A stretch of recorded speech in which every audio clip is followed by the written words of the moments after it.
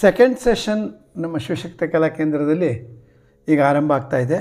ಈಗ ಕಲಾ ಕೇಂದ್ರದ ಗಡಿಯಾರದಲ್ಲಿ ಹನ್ನೊಂದು ಕಾಲು, ಹನ್ನೊಂದು ಗಂಟೆ ಹದಿನೈದು ನಿಮಿಷ, ಒಂಬೈನೂರ ಐವತ್ನಾಲ್ಕನೇ ಮಹಾಸಂಚಿಕೆಗೆ ತಮಗೆಲ್ಲರಿಗೂ ಕೂಡ ಸುಸ್ವಾಗತ.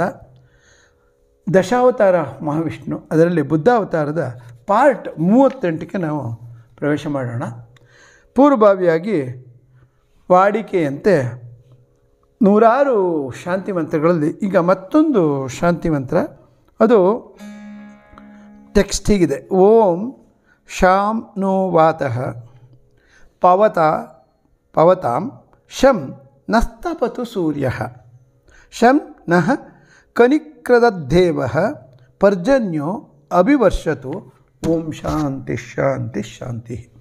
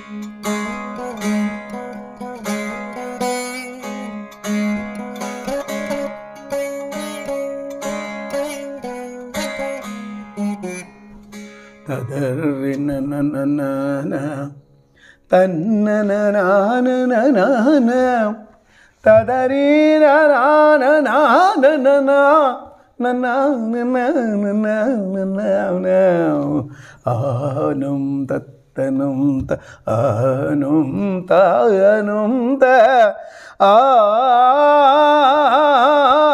ಆನು ಆನುಂ ತನುಂ ತ ಆನುಂ ತ ಓಂ ಶನ್ನೋ ವಾತಃ ಓಂ ಶನ್ನೋ ವಾತಃ ಪವತಾಂ ಶಂ ನಸ್ತಪತು ಸೂರ್ಯಃ ಶಂ ನಸ್ತಪತು ಸೂರ್ಯಃ ಶಂ ನಃ ಕನಿಕ್ರದೇವಃ ಪರ್ಜನ್ಯೋ ಪರ್ಜನ್ಯೋ ಅಭಿವರ್ಷತು ಪರ್ಜನ್ಯೋ ಅಭಿವರ್ಷತು ಓಂ ಶಾಂತಿ ಶಾಂತಿ ಶಾಂತಿ ಓಂ ಶನ್ನೋ ವಾತಪ್ಪವತಾಂ ಶಂ ನಸ್ತಪತು ಸೂರ್ಯ ಶಂ ನಃ ಕನಿಕ್ರದೇವ ಪರ್ಜನ್ಯೋ ಅಭಿವರ್ಷತು ಓಂ ಶಾಂತಿ ಶಾಂತಿ ಶಾಂತಿ ಶಾಂತಿ ಶಾಂತಿ. ಈಗ ಬೇಸಿಗೆ ಬಿಸಿಲು ಬಹಳ ಜೋರಾಗಿದೆ ಈಗ ನಮಗೆ. ಅದಕ್ಕೆ ತಕ್ಕಾಗಿ ಈ ಶಾಂತಿ ಮಂತ್ರ ಅದರ ಭಾವಾರ್ಥ ಕೂಡ ಆರೋಗ್ಯಕರ ಗಾಳಿ ಬೀಸಲಿ. ಈಗ ನಮ್ಮ ಗಡಿಯಾರದಲ್ಲಿ ಹನ್ನೊಂದು ಗಂಟೆ ಹತ್ತೊಂಬತ್ತು ನಿಮಿಷ ಗಾಳಿ ಬೇಕು ಈಗ ನಮಗೆ. ಅದರಿಂದ ಅದರಲ್ಲಿ ಆರೋಗ್ಯಕರ ಗಾಳಿ ಬೀಸಲಿ. ಓಂ ಶನ್ನೋ ವಾತಪ್ಪವತ. ಸೂರ್ಯನ ಪ್ರಕಾಶವು ನಮ್ಮನ್ನು ಇನ್ನೇನು ಟ್ವೆಲ್ ನೂನ್ ಆಗುತ್ತೆ. ಆದರೂ ಪರವಾಗಿಲ್ಲ, ಸೂರ್ಯನ ಒಳ್ಳೆ ವೈಟಮಿನ್ ಡಿ ಕೊಡೋಣ ಅವನು ಸೂರ್ಯನ ಪ್ರಕಾಶವು ನಮ್ಮನ್ನು ಹರ್ಷಗೊಳಿಸಲಿ. ಶಂ ನಸ್ತಪತು ಸೂರ್ಯ.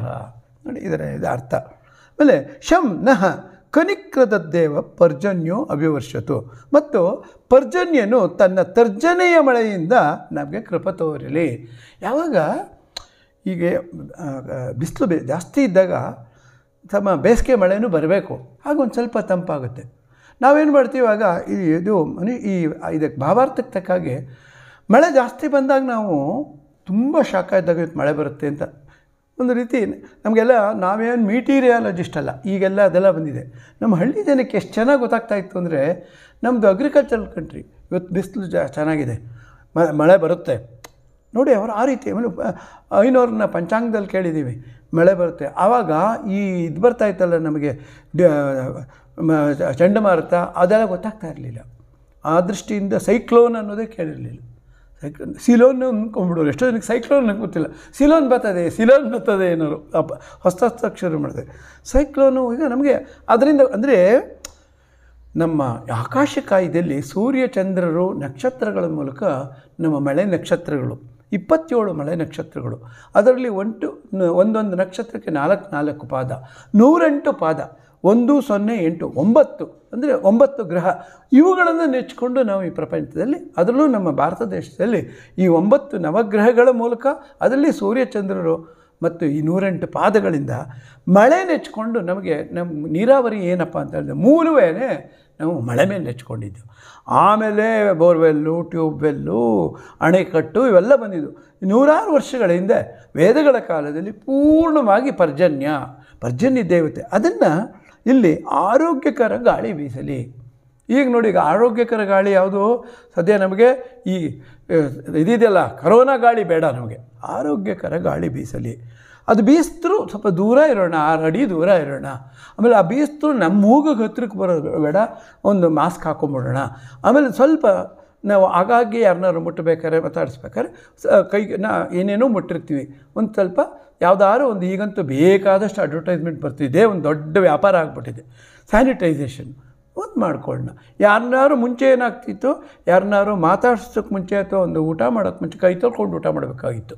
ಈಗ ಯಾರನ್ನಾರು ಮುಟ್ಟಬೇಕಾದ್ರೆ ಕೈ ತೊಳ್ಕೊಬೇಕಾಗ್ತದೆ ಆಮೇಲೆ ಮುಟ್ಟಿದ ಮೇಲೂ ಕೈ ತೊಳ್ಕೊಳ್ಬೇಕಾಗುತ್ತೆ. ನೋಡಿ, ಇದು ಎಂತಹ ಪರಿಸ್ಥಿತಿ? ವೇದಗಳ ಕಾಲಕ್ಕೂ ಇದಕ್ಕೂ. ಅದೇ ಆರೋಗ್ಯಕರ ಗಾಳಿ ಬೀಸಲಿ. ಇಲ್ಲಿ ಗಾಳಿ ಬೀಸಲಿ ಅಂದರೆ ಒಂದು ಅರ್ಥ.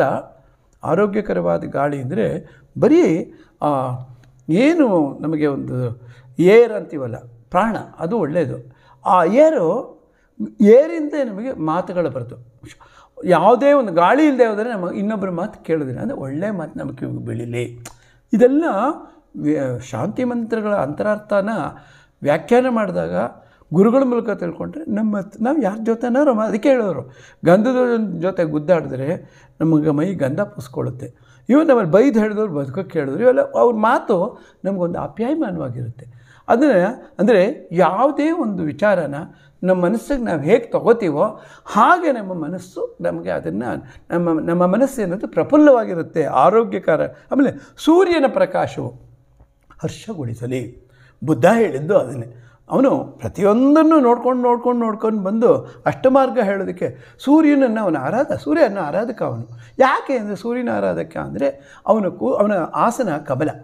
ಕಮಲ ಅರಳೋದು ಸೂರ್ಯ ಬಂದಾಗಿದೆ. ನೋಡಿ, ಅದರಲ್ಲಿ ಇಲ್ಲೇನಾಗುತ್ತೆ? ಕಮಲ ಕೆಳಗಿದೆ. ಸೂರ್ಯ ಅದರ ಮೇಲೆ ಕೂತಿದ್ದಾನೆ. ಅವನ ಪ್ರಕಾಶ ಬುದ್ಧನ ಮೂಲಕ ಹೋಗಿ ಆ ಕಮಲ ಅರಳುತ್ತೆ ಅಂದರೆ ಅರ್ಥ, ನಾವು ಯಾವುದೇ ಒಂದು ವಸ್ತುವಿನ ಮೇಲೆ, ಯಾ ಅಂದರೆ ನಮ್ಮ ಇಲ್ಲಿ ನಮಗೆ ಯಾವುದೋ ಒಂದು ಸಬ್ಜೆಕ್ಟ್ ಏನು ಅಂದರೆ ಈಸ್ ಯಾರನ್ನಾರು ಕರಿಬೇಕಾದ್ರೆ, ಒಂದು particular is a subject expert ಅಂತೀವಿ. ಒಂದು ವಿಚಾರದಲ್ಲಿ ಒಬ್ಬನಿಗೆ ಜ್ಞಾನ ಜ್ಞಾನವಾಗಿರೋದೇ ಜ್ಞಾನೋದಯ, ಬುದ್ಧನಿಗಾಗಿರೋದು ಜ್ಞಾನೋದಯ. ಯಾವ ಸಬ್ಜೆಕ್ಟಲ್ಲಿದ್ದರೆ ಇಡೀ ಯೂನಿವರ್ಸಲ್ಲಿರೋ ಎಲ್ಲವನ್ನು ಕೂಡ ಅವನು ಅನುಭವಿಸಿ ಅನುಭವಿಸಿ ಅನುಭವಿಸಿ ಪಡೆದಂಥ ಜ್ಞಾನ. ಅದು ಅವನು ಅಷ್ಟ, ಯೋಗ ಪುರುಷ ಅವನು. ಅಷ್ಟಾಂಗ ಯೋಗಗಳನ್ನು ಮಾಡಿರೋನು. ಯಮ, ನಿಯಮ, ಆಸನ, ಪ್ರಾಣಾಯಾಮ, ಪ್ರತ್ಯಾಹಾರ, ಧ್ಯಾನ, ಧಾರಣ. ನಂತರ ಸಮಾಧಿ. ಆ ಸಮಾಧಿ ಸ್ಥಿತಿಗೆ ಬಂದಿರೋದರಲ್ಲಿ ಅವನು ಅಷ್ಟಾಂಗ ಯೋಗವನ್ನು ಮಾಡಿದ್ರಿಂದ ಅವನು ಅಷ್ಟ ಮಾರ್ಗವನ್ನು ಕಂಡುಹಿಡಿದ ಆಮೇಲೆ ಅವೇನು ಮಾಡೋದು? ಅಷ್ಟಾಂಗ ಮಾರ್ಗ ಎಲ್ರಿಗೂ ಸಾಧ್ಯ ಇಲ್ಲ. ಈಗ ಮೂ, ಇನ್ನು ಮೂರು ಉಳ್ಕೊಂಡಿದೆಯಲ್ಲ ಅಷ್ಟಾಂಗ ಯೋಗದಲ್ಲಿ ಆಸನ ಎಲ್ಲರೂ ಮಾಡ್ತೀವಿ, ಪ್ರಾಣಾಯಾಮ ಮಾಡ್ತೀವಿ. ಆಮೇಲೆ ಪ್ರತ್ಯಾಹಾರನೂ ಮಾಡ್ತೀವಿ. ಈ ಉಳ್ಕೊಳ್ಳೋದು ಧ್ಯಾನನೂ ಸ್ವಲ್ಪ ಮಾಡಿ ದ ಇನ್ನು ಪ್ರತ್ಯಾಹಾರನೂ ಮಾಡ್ತೀವಿ. ಧ್ಯಾನ ಧಾರಣ ಸಮಾಧಿ. ಅದರಲ್ಲಿ ಐದು ಮಾರ್ಗನಾರು ನೀವು ಮಾಡ್ಕೊಳ್ಳಿ. ಅದೇ ಮಧ್ಯಮ ಮಾರ್ಗ ಅಂತ. ಇದು ವ್ಯಾಖ್ಯಾನ ಮಾಡಾಗ ನನಗೆ, ಈಗ ಅವರಿಲ್ಲ ಒಬ್ಬ ಅಥಾರಿಟಿ ಬಿ ಎನ್ ಚಂದ್ರಯ್ಯ ಅಂತ ಒಬ್ಬರು ಈ ಬೌದ್ಧಿಸಮ್ಗೆ ಅವರು ಅವರು ನನ್ನ, ನಾನು ಇನ್ನೂ ಚಿಕ್ಕವನಾಗಿದ್ದಾಗಲೇ ಒಂದು ಯಾವುದೋ ಒಂದು ರೇಣುಕೇಶ್ವರನ ದೇವಸ್ಥಾನ ಅಂತ ನಮ್ಮ ಮೈಸೂರಲ್ಲಿದೆ. ಆಗ ನನಗಿನ್ನೂ ಒಂದು ಇಪ್ಪತ್ತೇಳು, ಇಪ್ಪತ್ತೆಂಟು ವರ್ಷ. ಆಗ್ತಾ ನಾನು ಪಟ್ಟಾಭಿ ಜೋಯಿಸರ ಶ- ಶಿಷ್ಯನಾಗಿ ಸ್ವಲ್ಪ ಯೋಗಾಸನಗಳನ್ನೆಲ್ಲ ಸ್ವಲ್ಪ ಮುಂದುವರಿಸ್ಕೊಂಡು ಇನ್ನಷ್ಟು ಜನಕ್ಕೆ ಸ್ವಲ್ಪ ಟೀಚು ಮಾಡ್ತಾಯಿತ್ತು ಇನ್ನೊಬ್ಬನಿಗೂ ಆಗ ಆತನ ಪರಿಚಯ ಆಯಿತು. ಆಗ ಅಲ್ಲಿ ಒಂದು ಈ ಬುದ್ಧಿಸಮ್ ಬಗ್ಗೆ ಮಾತಾಡೋದಕ್ಕೆ ಅವ್ರನ್ನ ಅಥಾರಿಟಿಯಾಗಿ ಕರೆದಿದ್ದರು ಅವರು ಮುಖ್ಯ ಒಂದು ಪ್ರವಚನಕಾರರು. ಜೊತೆಗೆ ನನ್ನ ಒಬ್ಬ ಗೆಸ್ಟಾಗಿ ಕರೆದಿದ್ದು ಒಬ್ಬ ಚೀಫ್ ಗೆಸ್ಟ್ ಅಂತ ಕರಿತಾರೆ ಹಾಗೆ. ಆವಾಗ ನಾನು ಅವ್ರನ್ನ, ಅವ್ರ ಪರಿಚಯ ಪ್ರಪ್ರಥಮವಾಗಿ ಆಯಿತು ಬಿ ಎನ್ ಚಂದ್ರಯ್ಯ ಆಮೇಲೆ ಅವ್ರ ಬಗ್ಗೆ ಅವ್ರ ಬಯೋಡೇಟಾ ಅವ್ರ ಬಗ್ಗೆ ಅಂತ ಕೇಳಿದಾಗ ಬೌದ್ಧನ ಬಗ್ಗೆ ಬಹಳಷ್ಟು ವಿಚಾರ ತಿಳ್ಕೊಂಡಿದ್ದವರು ಅಥಾರಿಟಿಯವರು ಆಮೇಲೆ ಅವ್ರ ಸಂಪರ್ಕದಿಂದ ಕೆಲವು ವಿಚಾರಗಳನ್ನು ತಿಳ್ಕೊಂಡೆ. ಇದೆಲ್ಲ ನಮಗೆ ಅವಾಗ ಈ ಥರ ನನಗೆ ಈ ಪಾಠಗಳಾಗಿತ್ತು, ಈ ಶಾಂತಿ ಮಂತ್ರಗಳು. ಅವರು ಆ ರೀತಿ ಶಾಂತಿ ಮಂತ್ರಗಳು. ನಾನು ಅದನ್ನು ಬುದ್ಧಂಗೂ ಇದಕ್ಕೂ ಹೋಲಿಕೆ ಕೊಡ್ಬೋದಲ್ವೇ ಎಂದೆ ಹೇಳಿ ಒಂದು ನಾಲ್ಕನೇ ಹೇಳಿ. ಅವ್ರಿಗೆ ಅವ್ರಿಗೆ ಬುದ್ಧ ಬೌದ್ಧಾತ ಬುದ್ಧನ ಬಗ್ಗೆ ಬಹಳ ಚೆನ್ನಾಗಿ ಗೊತ್ತಿತ್ತು. ನೀವು ಹೇಳಿ, ನೀವು ಹೇಗೆ, ನಾನು ಇನ್ನೂ ಚಿಕ್ಕವನು ಅವ್ರು ತುಂಬ ದೊಡ್ಡವರು. ಅವಾಗ ನಾನು ಹೇಳಿದಾಗ ತುಂಬ ಚೆನ್ನಾಗಿದೆ. ಇದನ್ನು ಮುಂದುವರ್ಸ್ಕೊಂಡು ಹೋಗಿ ಅಂದರು. ಈ ಈ ರೀತಿಯೇ ಮುಂದುವರ್ಸ್ ನನಗೆ ಆ ಕಾಲದಲ್ಲಿ ಇದೆಲ್ಲ ಹೇಳಿ ಒಂದು ಸೇಬ್ ಒಂದು ನಲವತ್ತು ವರ್ಷ ಆಯಿತು ಅಂತ ಇಟ್ಕೊಂಡು, ನಲವತ್ತು ವರ್ಷದಿಂದ ನಂತರ ತುಂಬ ಚೆನ್ನಾಗಿದೆ. ಇದನ್ನು ಮುಂದುವರ್ಸ್ಕೊಂಡು ಹೋಗಿ ಅಂದರು. ಹೀಗೆ ನಮಗೇನಾಗಬೇಕು ಅಂದರೆ ನಾವು ಯಾಕಿದ್ನ ಹೇಳಿದೆ ಅಂದರೆ ನಮ್ಮ ಆರೋಗ್ಯಕಾರಿ ಕಾಳಿ ಬೀಸಲಿ ಸೂರ್ಯನ ಪ್ರಕಾಶವು ನಮ್ಮನ್ನು. ಒಬ್ಬರು ನಮಗಿಂತ ಉತ್ತಮರು, ನಮಗಿಂತ ಯಾರು ಜ್ಞಾನಿಗಳಿರ್ತಾರೋ ನಾವೇನು ಹೇಳೋದು, ಅವರಿಂದ ಅಪ್ರೂವಲ್ ತಗೊಳ್ಳೋದು ಅಂತ. ನಾವು ನಾವು ಹೇಳಿದ್ದೆ ಸರಿ ಅನ್ನೋಕ್ಕಾಗಲ್ಲ. ಈ ದಶೆಯಲ್ಲಿ ನನಗೆ ಇದನ್ನು ಹೇಳಿದಾಗ, ನನಗೆ ಶಾಂತಿ ಪಂತ್ರದ ಪಾಠ ಆಗಿದ್ದಿದ್ದು ಸಂಸ್ಕೃತ ಪಾಠಶಾಲೆ ಗುರುಗಳಿಂದ. ಅದನ್ನು ಅಪ್ಲೈಡ್ ಸೈನ್ಸ್ ಮಾಡೋಕ್ಕೆ ಅನುಕೂಲ ಆಗಿದ್ದು ಬಿ ಎನ್ ಚಂದ್ರಯ್ಯನವ್ರನಿಂದ. ಸಿ, ಹೇಗೆ? ಆನೋ ಭದ್ರಾಣಿ ಪ, ಅಂದರೆ let noble thought come from all source that is what ನಮ್ಮ ಬುದ್ಧನ ಯಾಕೆ ನಾವು ಇಷ್ಟಪಡ್ತೀವಿ ಅಂದರೆ, ಎಂಟನೇ ಅವತಾರ ಆದ ಕೃಷ್ಣನ ಏನು ಆ ಭಗವದ್ಗೀತೆ ಅದನ್ನು ಮುಂದುವರಿಸ್ಕೊಂಡು ಅದರಲ್ಲಿ ಇರತಕ್ಕಂಥದ್ದು ಇರೋ ಇರೋ ಇನ್ನೆಷ್ಟು ಹೇಗೆ ಇಂಪ್ರೂವ್ ಮಾಡಬೇಕು ಅಂತ ಬೌದ್ಧಾವತಾರ ಅದನ್ನು ಮಾಡ್ಕೊಂಡೋಯ್ತು. ಅದೇ ಅಷ್ಟಾಂಗ ಮಾರ್ಗ. ಅದರಲ್ಲಿ ಈ ಶನ್ನೋವಾತ ಪವತ ಶಂ ನಸ್ತಪತು ಸೂರ್ಯ, ಶನ್ ಕನಿಕ್ರ ದೇವ, ಪರ್ಜನ್ಯೋ ಅಭಿವರ್ಷತು, ಆರೋಗ್ಯಕರ ಗಾಳಿ ಬೀಸಲಿ. ಅಂದರೆ ಇನ್ನೂ ಇದರ ಅಂತರಾರ್ಥ ಏನು ಅಂದರೆ, ನಾವು ಯಾರ ಜೊತೆನಾರು ವ್ಯವಹಾರ ಮಾಡ್ತಾಯಿದ್ರೆ ಅಥವಾ ಅವ್ರ ಸಹವಾಸ ಇದ್ದರೆ ನಮಗೆ ಸ್ವಲ್ಪ ಅವರಿಂದ ಜ್ಞಾನ ಆರೋಗ್ಯಕರವಾದ್ದು. ಅಂದರೆ healthy mind healthy body health sound mind ಅಂತೀವಲ್ಲ sound body and sound mind ಅವ್ರ ಆಮೇಲೆ ಇನ್ನೂ ಒಂದು ಸತಿ ನಾವು ಭಾಳ ವ್ಯಂಗ್ಯವಾಗಿ ಕೆಲಸ ಓಹೋ, ನಿಮಗೂ ಅವ್ರ ಗಾಳಿ ಬೀಸ್ಬಿಡ್ತು ಅಂತೀವಿ. ಇದಾಗಿದ್ರೆ ಅವ್ರ ಗಾಳಿ ಬೀಸ್ಬಿಡ್ತು ಅಂತ. ಇಲ್ಲಿ ಅದಕ್ಕೆ ಆರೋಗ್ಯ, ಅದಕ್ಕೆ ಅಬ್ಜೆಕ್ಟಿವ್ ಹಾಕಿರೋದು. ಆರೋಗ್ಯಕರ ಗಾಳಿ ಬೀಸಲಿ. ಅದೇ ರೀತಿ ಇನ್ನೂ ಒಂದು ಹೇಳ್ತಾರೆ. ಒಳ್ಳೆಯವ್ರ ಜೊತೆ ಸೇರಿದರೆ ಏನೇನೋ ಮಾತಾಡ್ತಾ ಇದ್ರಿ ಮುಂಚೆ ಎಲ್ಲ? ಈಗ ನೋಡಿ ಒಂದು ಒಳ್ಳೆಯವ್ರ ಜೊತೆ ಸೇರಿಕೊಂಡು ಎಷ್ಟು ಅದಕ್ಕೆ ಕಟಕನ ಮನೆಗೆ ಹೇಳಿ ಋಷಿ ಮನೆಗೆ ಹೇಳಿ ಅಂತ. ನೋಡಿ ಈಗ ನಿಮ್ಮ ಮಾತುಕತೆ ನೀವು ಆಡೋ ಇದು ಪ್ರತಿಯೊಂದು ಸುಧಾರಿಸ್ಕೊಂಬಿಟ್ಟಿದೆ. ಒಳ್ಳೆ ಹೆಲ್ತಿ ಬಾಡಿ ಜೊತೆ ಹೆಲ್ತಿ ಮೈಂಡ್ನವ್ರ ಜೊತೆ ಸಹವಾಸ ಇದೆ ಅಂತ. ಇದು ನೆಕ್ಸ್ಟು ಸೂರ್ಯನ ಪ್ರಕಾಶವು ನಮ್ಮನ್ನು ಹರ್ಷಗೊಳಿಸಲಿ. ಅಂದರೆ ನೀವು ಯಾವಾಗಲೂ ವಿತಿನ್ ದಿ ಫೋರ್ ವಾಲ್ಸ್ ಕೂತ್ಕೊಂಡಿದ್ರೆ ಅದಕ್ಕೆ ದೋ ಮಾಡಿದ್ದು ಬೌದ್ಧ ಅದೇನೆ, ದೇಶ ಸುತ್ತು ಕೋಶ ಓದು ಅಂತ. ಇವನೇನು ಮಾಡ್ದ? ಫಸ್ಟ್ ಫಸ್ಟು ಕೋಶ ಓದಕ್ಕೆ ಹೋಗಲಿಲ್ಲ ಬುದ್ಧ.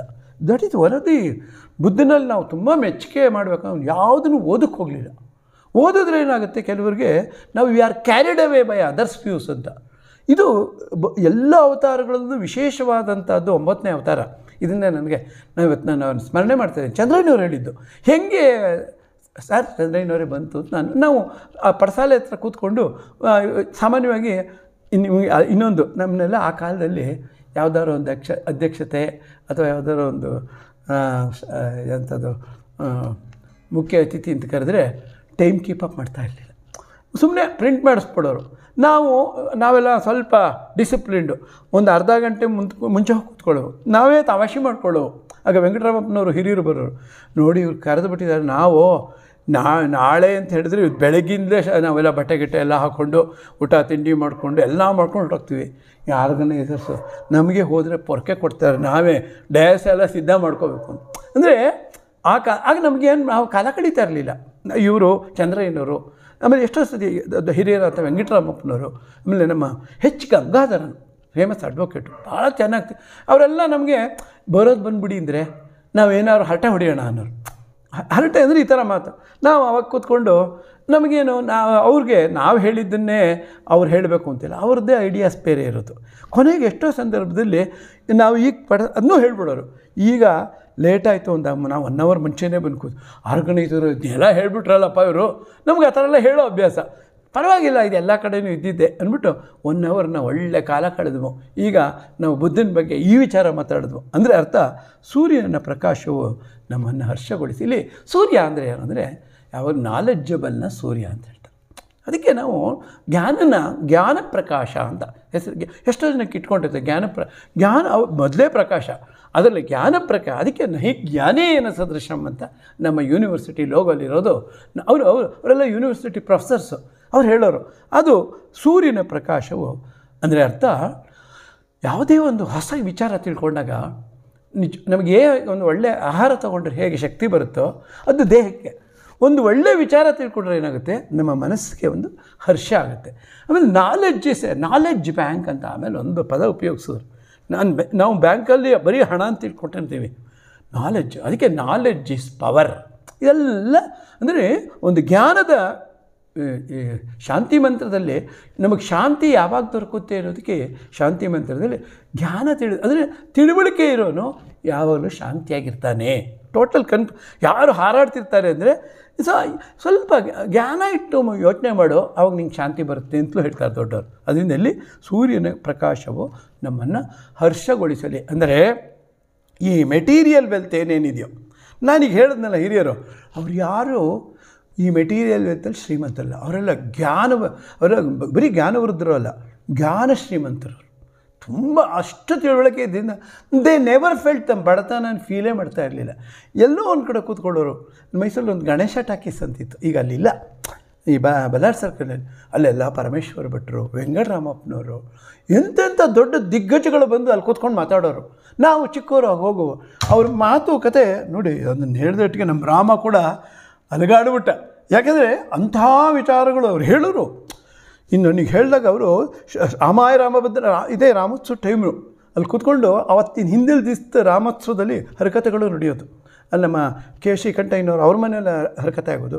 ಬಿಡಾರ ಕೃಷ್ಣಪ್ಪನವ್ರು ಸೀತಾರಾಮ ಮಂದಿರದಲ್ಲಿ ಹರಕತೆ ಆಗೋದು. ನಂತರ ಈ ಗಣೇಶ ಟಾಕೀಸ್ ಒಂದು ಈಶ್ವರನ ದೇವಸ್ಥಾನ ಇದೆ. ಅಲ್ಲಿ ರಾಮೋತ್ಸವ ಮಾಡೋರು ಹಿಂದಿನ ದಿವಸ ಏನಾಗಿರುತ್ತೋ, ರಾಮ ನೋಡಿ ಒಬ್ಬೊಬ್ಬರದ್ದು ಒಬ್ಬೊಬ್ಬೊಬ್ಬರು ಚಪ್ಪು ರಾಮಾಯಣ ಓದ್ಕೊಂಡಿರೋರು. ಇನ್ನೊಬ್ಬರು ಕುವೆಂಪು ರಾಮಾಯಣ ದರ್ಶನ ಓದ್ಕೊಂಡಿರೋರು. ಹೀಗೆ ಒಬ್ಬೊಬ್ಬರು ಹೇಳಿದ್ದನ್ನು ನೋಡಿ, ಅಲ್ಲಿ ಹೀಗೆ ಹೇಳಿದೆ. ನಿನ್ನೆ ಅವರು ವ್ಯಾಖ್ಯಾನ ಮಾಡಿದ್ರಲ್ಲ, ಅದರಲ್ಲಿ ಈ ರೀತಿ ಇತ್ತು ಅಂತ. ಹೀಗೆ ಶ್ರೀರಾಮ, ಅಲ್ಲಿ ಅವ್ರು ಅವರು ಒಂದು ಅಂತ ಒಂದು ಇದು ಹಾಕ್ಕೊಂಡಿರೋರು ಅವಾಗ ಇದು ಇದು ಇದು ಈಗ ಹೇಗೆ ನಮ್ಮ ಅಭಿಯಾನದಲ್ಲಿ ಬಿತ್ತು ಅವ್ರು ಮಾತಾಡ್ತಾ ಮಾತಾಡ್ತಾ ಸ್ವಲ್ಪ ಸ್ಟೌಟ್ ಆಗಿದ್ದರು, ಅವ್ರೊಂದು ಇದ್ಕೊಂಡು ಕಟ್ಟಾಗೋಯ್ತು ಕಟ್ಟಾದಿಟ್ಟಿಗೆ ಅದು ಕೆಳಗೆ ಬಿತ್ತು. ನೋಡಿದಿರಾ ನಿಮ್ಮ ಮಾತಿಗೆ ಅವರು ಸಾಮಾನ್ಯ ತಾಯ್ತಾ ಇಲ್ಲ, ಹನುಮಂತನ ತಾಯ್ತಾ ಕಟ್ಕೊಂಡಿರೋರು. ಬಿದಾಯ್ತು ಅದು. ನೋಡಿ ಅಂದರೆ ಹೆದರ್ಬಿಟ್ಟ ಅನ್ನೋರು. ನೋಡಿ, ಇದ- ಇದೆಲ್ಲ ಹೇಳ್ತಿದ್ದಾಗ ಒಟ್ಟಿನ ಮೊತ್ತ ಏನು ಅಂತ ಹೇಳಿದ್ರೆ, ಒಂದು ಸೂರ್ಯನ ಪ್ರಕಾಶ ವೈಟಮಿನ್ ಡಿ ಅದೇನಾಗುತ್ತೆ, ನಮ್ಮ ಮನಸ್ಸಿನಲ್ಲಿ ಒಂದು ಉಲ್ಲಾಸ. ಅದಕ್ಕೆ ಮಾರ್ನಿಂಗು ವಾಕಿಂಗ್ ಹೋದಾಗ ಎಲ್ಲರೂ ಹೇಳೋದು ಆಗ್ತಾನೆ ಸೂರ್ಯನ ಉದಯ ಆಗಿರುತ್ತಲ್ಲ ಒಂದು ಜಾಸ್ತಿ ಹೊತ್ತು ಬೇಡ. ಒಂದು ಹತ್ತು ನಿಮಿಷ ಆವಾಗಲೇ ಸೂರ್ಯ ನಮಸ್ಕಾರ ಮಾಡಬೇಕು ಅನ್ನೋದು. ಅದನ್ನು ಸೂರ್ಯ, ಇದು ಬುದ್ಧ ಏನು ಮಾಡ್ದ? ನಲವತ್ತು ವರ್ಷ ಆಗಿದ್ದು ಹೊರಗೆ ಬರದೇ ಇದ್ದವನು. ಅವನು ಒಳಗೆ ಹೋಗಲೇ ಇಲ್ಲ. ಅವನು ಒಳಗೆ ಹೋಗಿದ್ದೆಲ್ಲ ಬುದ್ಧಿ. ಒಳಗೆ ಹೋಗಿದ್ದೆಲ್ಲ ಜ್ಞಾನ. ಆ ಒಳಗೆ ಹೋಗಿದ್ದೆಲ್ಲ ಅಷ್ಟಮಾರ್ಗ. ಅದನ್ನು ಅದನ್ನೇನು ಮಾಡಿದೆ ಅವನು? ಪರಿಷ್ಕರಿಸಿ ಪರಿಷ್ಕರಿಸಿ ಪರಿಷ್ಕರಿಸಿ ಮಧ್ಯಮ ಮಾರ್ಗ ಎಲ್ರಿಗೂ ಗೊತ್ತಾಗುವಂಥ ಮಧ್ಯಮ ಮಾರ್ಗವನ್ನು ಅವನು ಅದಕ್ಕೆ ಬುದ್ಧ ಮಾರ್ಗ ಅಂತ ಕರಿತೀವಿ. ನಾವು ಈಗಲೂ ಮೈಸೂರಿನಲ್ಲಿ ಸಿದ್ಧಾರ್ಥ ಲೇಔಟ್ ಅಂತ ಒಂದಿದೆ. ಅಲ್ಲೆಲ್ಲ ಬುದ್ಧನ ಬಗ್ಗೆ ಇಲ್ಲಿ ಹೇಗೆ ನಮ್ಮ ಕುವೆಂಪು ನಗರದಲ್ಲಿ ಕುವೆಂಪು ಅನಿಕೇತನ ರಸ್ತೆ ಅಗ್ನಿಹಂಸ ರಸ್ತೆ, ಅವ್ರ ವರ್ಕ್ಸ್ ಏನೇನಿದೆಯೋ ಆಗಿಟ್ಟಿದ್ದೀವೋ ನಾವು ನಾವು ಸಿ ಮೈಸೂರಿಗೆ ಬಂದು ನೋಡಿ ನೀವು, ಬಂದು ಸಿದ್ಧ ಅದೊಂದು ಒಂದು ಹೊಸ ಬಡಾವಣೆ. ಅಂದರೆ ಈಗಲ್ಲ ಆಗ ಇದು ಒಂದು ಸ್ವಲ್ಪ ಹಳೇದಿನ ಅಲ್ಲೆಲ್ಲ ಕೂಡ ಶಾಂತಿ ಮಾರ್ಗ ಸಿದ್ಧ, ಹೆಸರಲ್ಲಿ ಹೇಗೆ ಕೋ, ಸಿದ್ಧಾರ್ಥ ಲೇಔಟ್ ಅಂತ. ಆ ರೀತಿ ಅಂದರೆ ಆ ರೀತಿನೆಲ್ಲರೂ ನಮಗೆ, ಮೈಸೂರಿನಲ್ಲಿ, ಅದಕ್ಕೆ ಮೈಸೂರಿನ ಕಲ್ಚರಲ್ ಕಂಟ್ ಇದು ಅಂತ ಹೇಳೋದು ಕಲ್ಚರಲ್ ಕ್ಯಾಪಿಟಲ್ ಅಂತ ಕರೆಯೋದು. ಏನೇ, ಈ ರೀತಿ ದೊಡ್ಡ ದೊಡ್ಡವರು ಅವ್ರನ್ನ ಅಟ್ಲೀಸ್ಟ್ ಕೊನೆ ಪಕ್ಷ ಮಕ್ಕಳು ಈಗಿನ ಕಾಲದವರು ಯಾಕೆ ಇದಕ್ಕೆ ಸಿದ್ಧಾರ್ಥ ನಗರ ಅಂತ ಹೆಸರಿಟ್ಟರು ಇದಕ್ಕೆ ಯಾಕೆ ಶಾಂತಿ ಮಾರ್ಗ ಅಂತ ಹೇಳಿದ್ರು. ಹಾಗೆ ಅವರವರ ಒಂದು ವರ್ಗವನ್ನು ಜ್ಞಾನ ಮಾರ್ಗ, ಭಕ್ತಿ ಮಾರ್ಗ ಎಲ್ಲ ಇದೆ ಅಲ್ಲಿ.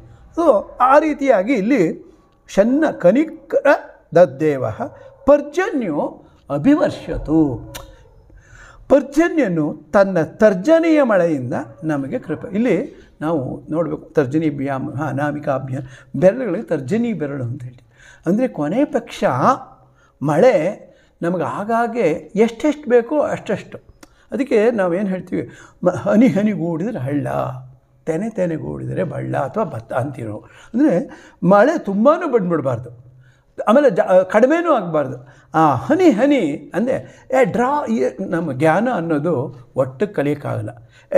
ಎವ್ರಿ ಡ್ರಾಪ್ ಆಫ್ ಜ್ಞಾನ, ಅದು ಒಂದು ಸಣ್ಣ ತೊರೆ ಆಗುತ್ತೆ. ಆಮೇಲೆ ಆ ತೊರೆ ಹರಿಬೇಕು ಅನ್ನೋದು. ಜ್ಞಾನನ ನಾವು ಏನು ತಿಳ್ಕೊಂಡಿದ್ದೀವೋ ಅದನ್ನ ಹರಿಸ್ಬೇಕು. ಅದೇ ಬುದ್ಧ ಮಾರ್ಗ. ಬುದ್ಧನಿಗೆ ಏನಾಯಿತು? ಬೇಡ, ಯಾರಿಗೂ ಹೇಳೋದು ಬೇಡ. ನಾನು ಮಾ, ನಾನು ತಿಳ್ಕೊಂಡು ಇದ್ಬೋಣ ಅಂತಲೇ ಇದ್ದ ಹಾಗೆ ತಿರ್ಗಾ ಪರಿವರಾಜಕಾಚಾರ್ಯರ ಜ್ಞಾಪಕ ಬಂತು. ಗುರುಗಳಿಗೆ ಹೇಳೋಣ ಅಂತ ನೋಡಿದ. ಗುರುಗಳು ಕಾಲ್ಬಾಗಿ ಬಿಟ್ಟಿದ್ರು ನಂತರ ಇನ್ನೇನು ಮಾಡಬೇಕು ಅವನು? ಕೊನೆಗೆ ಆ ಪರಿವರಾಜಕಾಚಾರ್ಯರನ್ನು ಹಿಡಿದು ಅವರು ಹಾಸ್ಯ ಮಾಡಿದ್ರು. ಆಮೇಲೆ ಅವನನ್ನು, ಅವನ, ಅವನಲ್ಲಿರ್ತಕ್ಕಂಥ ಜ್ಞಾನವನ್ನು ಒಪ್ಕೊಂಡ್ರು. ನಂತರ ಆ ಜ್ಞಾನನ ಒಪ್ಕೊಂಡ ತಕ್ಷಣ ನಾವು ಐದು ಜನ ಒಪ್ಕೊಂಡ್ಬಿಟ್ಟಿದ್ದೀವಿ. ಆದರೆ ಇದನ್ನೊಂದು ಡಿಬೇಟಾಗಿ ಇಡೋಣ ನಾವು ಅಂಥೇಳಿ ಹಲವಾರು ಹೊಸ ಹೊಸ ಹೊಸ ಹೊಸ ಆವಿಷ್ಕಾರಗಳು ಆಗಲಿ ಬುದ್ಧನ ಜ್ಞಾನದಿಂದ ಅಂತ ಹೇಳ್ಬಿಟ್ಟು ತುಂಬ ಸಭೆಗಳನ್ನು ಮಾಡಿದ್ರು. ಅದು ಸಂಗೀತ ಶುರುವಾಗಿ ಹಲವಾರು ಇದರಲ್ಲಿ ಪಾಸಾಗಿ ಬಂದು ಅದು ಅಷ್ಟಮಾರ್ಗ ಮಧ್ಯಮ ಮಾರ್ಗವಾಗಿ ಬೌದ್ಧ ಮಾರ್ಗವಾಗಿ, ಆರೋಗ್ಯಕರಗ. ನೋಡಿ, ಒಂದು ಒಂದು ಶಾಂತಿ ಮಂತ್ರದಲ್ಲಿ ಅಂದರೆ ಬುದ್ಧನ ಮುಖ್ಯ ಗುರಿ ಏನು ಅಂತ ಹೇಳಿದ್ರೆ ಶಾಂತಿ ಯಾಕೆ ಅವನು ನೋಡಿ ಅವನು ಎಂಥ ಅವನು ಅದೇ ಬುದ್ಧ ಮಾರ್ಗವನ್ನೇ ಸ್ವಲ್ಪ ಹೆಚ್ಚು ಕಡಿಮೆ ಇನ್ನಷ್ಟು ಅದನ್ನು ಪರಿಷ್ಕಾರಗೊಳಿಸಿ ಬುದ್ಧನ ಕಾಲದ ಎರಡು ನಮ್ಮ ಪರಮಹಂಸರು. ಅದನ್ನೇ ಪರಮಹಂಸರ ಶಿಷ್ಯ ಸ್ವಾಮಿ ವಿವೇಕಾನಂದರು. ಅವರ ಶಿಷ್ಯರುಗಳಾದಂಥ ಕುವೆಂಪು ಅವರುಗಳೆಲ್ಲ ದೇ ಅವರು ಸಾಕಾರ ಪೂಜೆಯನ್ನು ಜಾಸ್ತಿ ನಂಬ್ತಾ ಇರಲಿಲ್ಲ. ಕುವೆಂಪು ಅವರು ಯಾರು. ಆದರೆ ಅವರು ನಿರಾಕರಿಸ್ತಾ ಇರಲಿಲ್ಲ. ಯಾವುದನ್ನು ನಿರ ಬೇಕಾದಷ್ಟು ಅವರ ಅಗ್ನಿಹಂಸ, ಅದರಲ್ಲೆಲ್ಲ ನೀವು ನೋಡ್ಬೋದು. ಅವ- ಓ- ಓ- ಓನನ್ನ ಚೇತನ ಹಾಗೂ ನೀವು ಕೇತನ ಚೇತನ ನಂಬರೋರು ಚೈತನ್ಯನ. ಅಂದರೆ ನಾವು ಒಂದು ನಮ್ಮ ವಿಗ್ರಹ ಇಟ್ಕೊಂಡು ವಿಗ್ರಹಾರಾಧನೆಯಿಂದ ದೇವರನ್ನ ನಾವು ಸ್ಮರಿಸಬೇಕಾಗಿಲ್ಲ. ಜ್ಞಾನ ಮಾರ್ಗದಿಂದಲೂ ಮಾಡ್ಬೋದು. ಅದಕ್ಕೆ ಅವ್ರನ್ನೆಲ್ಲ ನಾವು ಜ್ಞಾನ ಯೋಗಿಗಳು ಅಂತ ಕರಿತೇವೆ. ಯೋಗದಲ್ಲಿ ಹಲವಾರು, ಅದನ್ನೇ ಇವನು ಭಗವದ್ಗೀತೆಯಲ್ಲೂ ಹೇಳಿರೋದು ಅದನ್ನೇ ನಾಲ್ಕು ರೀತಿ ಭಕ್ತಿ ಯೋಗ ಇದೆ, ಜ್ಞಾನಯೋಗ ಇದೆ ಜ್ಞಾನಯೋಗ ಇದೆ, ಕರ್ಮಯೋಗ ಇದೆ. ಸೊ ಇದರಲ್ಲಿ ಯಾವುದೇ ಒಂದು all road leads to Rome ಏಕಂ ಸತ್ ವಿಪ್ರ ಬಹುದಾ ವದಂತಿ. ಯಾಕಂದರೆ ನಾನು ಈ ಅಷ್ಟಮಾರ್ಗನ ನಾಲ್ಕು ಹೇಳಿದೆ. ಅದಕ್ಕೆ ವಿವರಣೆ ಬೇಕು ಅಂತ ಬಹಳ ಜನ ಕೇಳಿದ್ರು. ಅದಕ್ಕೆ ತಕ್ಕಾಗಿ ದೈವ ನನಗೆ ಒಂದು ರೀತಿಯಾದ ಗುರುಗಳ ಅನುಗ್ರಹದಿಂದ ಈ ಶಾಂತಿ ಮಂತ್ರಗಳಲ್ಲೂ ಕೂಡ ಅದನ್ನೇ ಹೇಳ್ತಾ ಇರೋದು. ಇದನ್ನು ನಮಗೆ, ನಾವು ಕಲಿತಾ ಇದ್ದಾಗ ಅಥವಾ ಬೇರೆಯವರ ಉಪನ್ಯಾಸಗಳು ಕೇಳಿದಾಗ, ನಮ್ಮ ಡಾಕ್ಟರ್ ಬಿ ಎನ್ ಚಂದ್ರಯ್ಯನವರಂಥವರ ಈ ಬ ಬುದ್ಧನ ಬಗ್ಗೆ ಅಥಾರಿಟಿ ಆಗಿರತಕ್ಕಂಥ ಸಾಹಸ ನಮಗೆ ಚಿಕ್ಕಂದಲ್ಲಿ ದೊರೆತಿರೋದ ಫಲವಾಗಿ ಇಂಥ ವಿಚಾರಗಳೆಲ್ಲ ಹೊರಹೊಮ್ತಾ ಇದ್ದೇವೆ. ಇದನ್ನು ನಾನು ಇನ್ನಷ್ಟು, ಯಾಕಂದರೆ ಈ ಎಲ್ಲ ಶಾಂತಿ ಮಂತ್ರಗಳು ಕೂಡ ಮತ್ತೆ ಬುದ್ಧನ ಕಡೆಗೆ, ನೀವು ಎಲ್ಲ, ಯಾವ ಕಡೆಗೆ ಹೋಗ್ತಿದ್ದೀರಿ ನಿಂತಾರೆ ಯಾರು ಕೇಳಿದ್ರೆ. ನಾವು ಹೇಳಿದ್ರೆ, ನಾವು ಕೊನೆಗೇನು ಹೇಳೋದು, ನಾವು ನಮ್ಮ, ಹೋಗ್ತಿದ್ರೆ ಮನೆ ಕಡೆಗೆ ಅಂತ. ಆಮೇಲೆ ತಿರ್ಗಿ ಅವ್ನು ಮರು ಪ್ರಶ್ನೆ ಬಿಡ್ತಾರೆ ಯಾರ ಮನೆ ಕಡೆಗೆ ಅಂತ. ಇಲ್ಲ ಎರಡು ಹೇಳ್ತೀವಿ, ಇಲ್ಲ ನಿಮ್ಮನೆ ಕಡೆಗೆ ಹೇಳ್ತೀವಿ ಅಲ್ಲ ನಮ್ಮನೆ ಕಡೆಗೆ ಅಂತ. ಎರಡು ಕೊನೆಗೆ ಕಡೆಗೆ ನಾವು ಹೋಗೋದೆ ಬುಗ್ ಬಗ್ಧ ಮಾರ್ಗನ ಕಡೆಗೆ. ಅಂದರೆ ನಾವು ಬುದ್ಧ ಮಾರ್ಗ ಯಾವುದಪ್ಪ ಅಂದರೆ ಟೋಟಲಿ ಈವನ್ ನಮ್ಮ ಅಂತ್ಯಕಾಲ ಆದರೂ ಕೂಡ ಅದು ಒಂದು ಜ್ಞಾನವೇ. ನಾವೆಲ್ಲರೂ ಏನು ತಿಳ್ಕೊಂಬಿಟ್ಟಿದ್ದೀವಿ, ಸಾಯೋದು ಅಂದರೆ ಅದು ಭಾಳ ಕೆಟ್ಟದು ಅಂತ. ನೋ ಹೇಗೆ, ಹಾಗೆ ನೋಡೋಕ್ಕೋದ್ರೆ ಜೈನ ಮತದಲ್ಲಿ, ಬೌದ್ಧ ಮತದಲ್ಲಿ ನಾವು ಅವರಿಗೆ ಮರಣ, ಅದಕ್ಕೆ ಅವ್ರು, ಅವ್ರ ಕಳೆಯಿಂದ ಬಂದಿರೋದು ಶರಣರ ಜೀವನವನ್ನು ಮರಣದಲ್ಲಿ ನೋಡುವಂಥ ಸೊ ನಾವು, ಹೌ, ಅವ್ರ ಲೈಫ್ ಇರ್, ಹುಟ್ಟಿರೋದೇ ಸಾಯಕ್ಕೆ ಅಂತಲೇ ಅರ್ಥ. ಹಾಗಂತ ಸಾಯಕ್ಕೋಸ್ಕರ ಸಾಯಿ ಸತ್ತೋಗೋದಲ್ಲ. ಸ್ವಲ್ಪ ದಿವಸ ಹುಟ್ಟಿದಟ್ಟಿಗೆ ಬುದ್ಧನ ಥರ ಒಂದು ಎಂಬತ್ತು ವರ್ಷ ಬಾಳಿ ಬದುಕಿ, ನಾವು ಒಂದಿಷ್ಟು ಬದುಕಿದ್ದಕ್ಕೆ ಒಂದು ಫುಟ್ ಪ್ರಿಂಟ್ಸ್ ಇಟ್ಬಿಟ್ಟು ಆಮೇಲೆ ಹೋಗಿ ಮತ್ತೆ ಇದು ಪುನರಪಿ ಜನನಂ, ಪುನರಪಿ ಮರಣಂ, ಜನನಿ ಜಠರೆ, ಜಠರೇಶ ಏನಂ. ಇದೆಲ್ಲ ಭಜಗೋವಿಂದಂ ಮೋಡಮತೆ. ಇದೆ ವಿಷ್ಣುವಿನ ದಶಾವತಾರದ ಬೌದ್ಧ ಅವತಾರದ ಒಂಬತ್ತನೇ ಅವತಾರದ ವಿಚಾರ, ಇಂತಹ ಶಾಂತಿ ಮಂತ್ರಗಳು ಹಾಗೂ ಬುದ್ಧನ ಅಟ್ಟ ಮಾರ್ಗದಲ್ಲಿ ಮಧ್ಯಮ ಮಾರ್ಗ. ಇನ್ನಷ್ಟು ಬುದ್ಧನನ್ನು ನಾವು ಮುಂದಿನ ಸಂಚಿಕೆ ತಿಳ್ಕೊಳ್ಳೋಣ. ನಮಸ್ಕಾರ.